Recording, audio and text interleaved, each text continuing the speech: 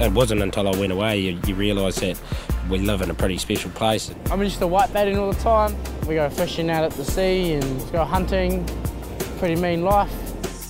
We need to make sure that we look after the ngāhere so the ngāhere can look after us.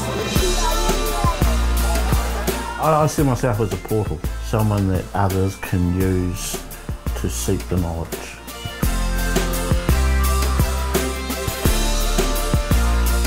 Everything we have here, it is useful for good kai or as healing purposes. There's no time like the present to get our hands really in touch with the soil. So you want to pass on everything you know to somebody. Food is life.